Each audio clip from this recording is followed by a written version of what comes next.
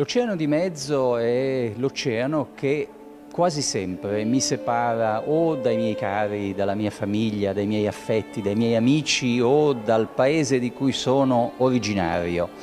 E quindi è, racchiude questa grande attraversata del mondo eh, dove racconto i paesi che sono stato, i continenti che ho esplorato, questa vita da nomade globale, il tentativo anche continuo di mettere radici da qualche parte, generalmente radici provvisorie, però nel mio mestiere di esploratore, di raccontatore dell'America sulle due coste, della Cina, dell'India o dell'Etiopia, eh, ho sempre sentito questo bisogno di eh, capire i luoghi mettendoci delle radici, anche momentanee, ma immedesimarmi, riuscire a immergermi in una identità culturale. E questo è il viaggio che vi propongo di fare insieme a me.